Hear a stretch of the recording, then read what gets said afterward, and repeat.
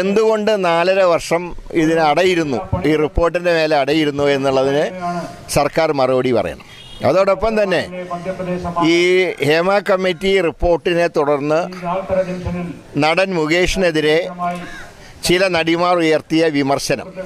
അദ്ദേഹത്തിന്റെ നടപടികളെക്കുറിച്ച് നടത്തിയ വിമർശനത്തിന്റെ പേരിൽ മുകേഷ് രാജിവെക്കണമെന്ന് ആവശ്യപ്പെട്ടുകൊണ്ട് കേരളത്തിലെ പ്രതിപക്ഷം ശക്തമായിട്ടുള്ള സമരരംഗത്താണ്.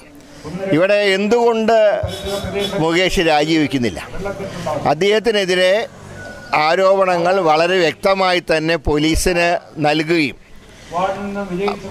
അദ്ദേഹത്തിന്റെ പ്രവൃത്തി കൊണ്ട് അഭിമാനക്ഷതം നേരിട്ട ഒരു നടി വ്യക്തമായി പോലീസിന് പരാതി രേഖപ്പെടുത്തുകയും പരാതി കൊടുക്കുകയും ചെയ്തിട്ട് പോലും ആ എം എൽ എ സംരക്ഷിക്കുന്ന നിലപാടാണ് ഇവിടെ പിണറായി വിജയൻ ചെയ്തുകൊണ്ടിരിക്കുന്നത് മാത്രമല്ല ഇങ്ങനെയുള്ളൊരു വ്യക്തിയെ ഹേമ കമ്മിറ്റി റിപ്പോർട്ട് നാലര കൊല്ലാണ് സർക്കാർ അതിന്റെ മേലെ അടയിരുന്നത്.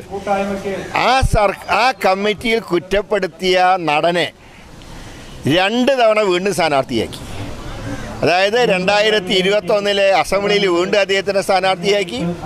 രണ്ടായിരത്തി ഇരുപത്തിനാലിൽ ലോക്സഭയിലേക്ക് അദ്ദേഹത്തിനെ സ്ഥാനാർത്ഥിയാക്കി. അപ്പോൾ അദ്ദേഹം ഈ തെറ്റുകൾ ചെയ്തു എന്ന് അറിഞ്ഞുകൊണ്ട് തന്നെ അദ്ദേഹത്തിനെ പാർട്ടി സ്ഥാനാർത്ഥിയായി മത്സരിപ്പിച്ച മുഖ്യമന്ത്രിക്കും ഇക്കാര്യത്തിൽ ഉത്തരവാദിത്തമുണ്ട് അതുകൊണ്ട് ഈ റിപ്പോർട്ടിന്റെ നടപടികൾ പൂർത്തിയാകുന്നതുവരെ കോൺഗ്രസും യു ഡി എഫും ശക്തമായി സമരരംഗത്തുണ്ടാവും. ശക്തമായിട്ടുള്ള നിലപാട് യു ഡി എഫ് സ്വീകരിക്കും.